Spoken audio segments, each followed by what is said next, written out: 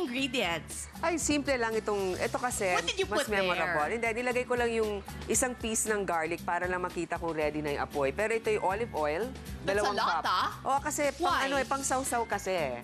Okay, so it's a lot of olive oil. A lot. Tapos, Baka na-overestimate ko rin. Pero anyway, Okay na yan. ipapaswimming natin yung garlic. Sige. So, yung, yung siguro isang buong garlic or isa, isa't kalahati, tadtarin lamang. Tapos, ilagay yan, melay. Oh, sige. Um, ingatan lang na huwag masunog yung Garlic. garlic. Oo, ano. kasi papait.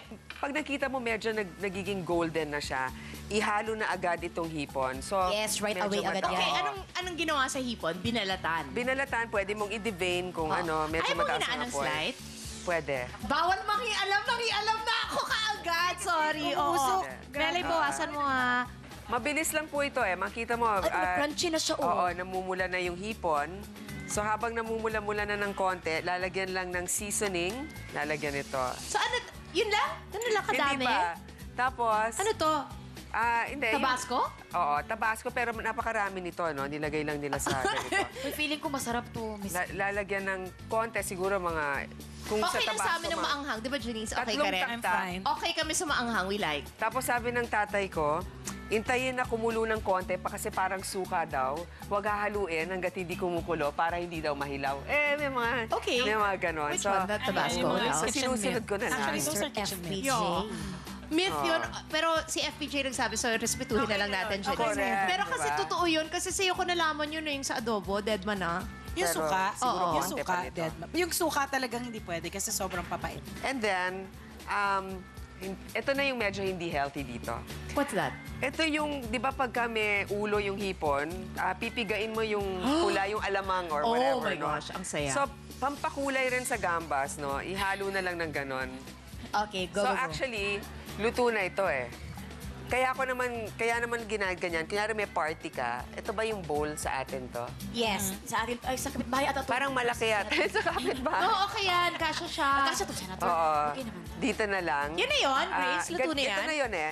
Tapos kukuha ka Wait, ng... you're not putting ano? Just the seasoning? Di ka nag-pepper, di ka nag-salt, nothing Hindi na kasi yung, yung um, Maanghang seasoning, na? yung seasoning na to, Okay. okay na yan. Okay. So, haluin.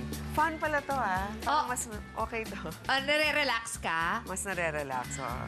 Actually, Anong nagluluto oras naman kayo talaga. kailangan pumasok sa work? Ah, yung, yung, yung aming session, nagbu- nag-uumpisa yan ng alas 3 ng hapon. Kaya So, sa you're umaga, there. usually yung briefing, Yes. yung mga ano. So, Alam mo, pwede neighbors na na, tayo. Nakalimutan ko ikwento sa'yo. yeah, in the village next to you. Yes, magkalapit na tayo. Yay! I'm so excited. Now you can go to my house And now eat, more often. yes. And, And- you can, I can, yeah. Yay! Ma- ang fun. sarap ng lumpia at ng adobo sa kanila. Ay, sa mom ko yon. Ah, okay. Nakikikain Baka iba kami. naman subdivision yung sinasabi mo sa kanya. Ha? No, sa, no, no, no. Sa akin? Sa'yo, it's, I'm just below you. You know na what that is, right? Yes, Okay, yun. I like it. Yeah. Oh, so, nagkaintindihan na tayo. Malapit na ako sa'yo. Parang may Oo. secret. Oo. So ito lang ito lang 'yon, ah, Miss Chris and With Miss bread. Wait, you better With turn it... bread. Uy, Melay, off mo mo overcook, sayang. Paano to mga? Press the plus, please. Plus, And then minus, minus, minus. Oh, iba talaga ang section 1, 'di ba? Oo, marunong. Madali Okay. nga. Ano? mahilig ako sa mathematics kasi, Senator. Ay! 1 plus 1 is equal to 2. Okay.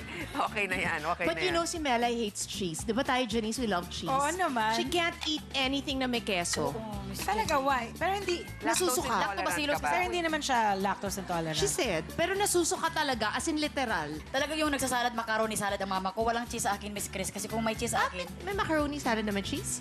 Meron, meron. Nilalagyan ng ano, ng... Kinukube mo yung cheese, tapos nilalagyan mo sa macaroni. Wow. Okay. na lang para for Let's sure. try. Can we have bread? Ganito ah, normally tinutusta lang po ito sa toaster oven o kaya sa kung saan man matutusta, hindi naman kailangan sa pan. So, Si ano, Grace galing States talaga kasi toaster oven ang tawag niya. Sa Philippines, iba oven toaster. Oh, baliktad. Pero pag galing Ah, ka sa ganun ba? States, toaster Okay. oven. No? Hindi ko I used to call it the toaster oven. At tinitingnan ako ng mga taong, ano sabi niya? And then I realized, ah, sige, oven toaster. Pareho lang. lang, both It means words the are same there, thing. ah. so ito Means may the same garlic thing. pa and ano. So, So, ano- ay, pwede ko palang batiin yung aking um, staff, si Jem. Birthday niya kasi ngayon. Happy birthday, Jem. Uy, sweet. At syempre, si Judith, yung sa bahay namin. Judith Dokog, hello. Kung wala ka, lagot ako. wow! Tira din kay Oh, Miss Janice salamat kung prasado. sa Masarap. Sarap. Ako tikman ko naman. Hindi kasi pag may garlic at may olive oil, perfect na, no? Oo na, di ba? Tapos hindi masyado nakakataba. Wag, kung ayaw niyo ng alamang para hindi kayo makolesterol, wag na lang ninyo Mm. ilagay. Pero it's an honor to have both of you test this, especially Harap. ikaw, magaling Mm. ka magluto. Ito yung natuturo sa akin eh. Kasi Sobra si, naman. si Mommy de Belen na lang. Hi, Yes. hello. Dahil Mm. alam ko, magaling talaga.